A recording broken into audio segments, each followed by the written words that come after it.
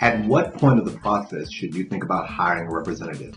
First, no one can really tell you what point you should definitely do it because at the end of the day, the final decision maker is you. Secondly, you have to ask yourself the question, how much of the process do you feel comfortable doing on your own? Meaning, are you okay getting the medical paperwork? Are you okay getting the forms completed? Are you okay doing the follow-up that's required? And answer those questions and that'll tell you how far along you think you can take it.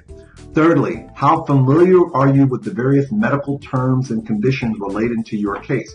Don't just rely solely on what your doctor's telling you. You need to understand what the medical records say so you can understand where the strengths and weaknesses are of your case. And finally, and finally, in light of all the other things you have going on in your life, do you have the time and the patience to be able to take care of everything that needs to be addressed? What you're going to find that this is a long process and the longer you're in the process, more things are happening not only with your case, but also in your life. So you need to determine at what point you need to turn this over to someone else to handle it because you're a little bit too overwhelmed to be able to handle it solely by yourself.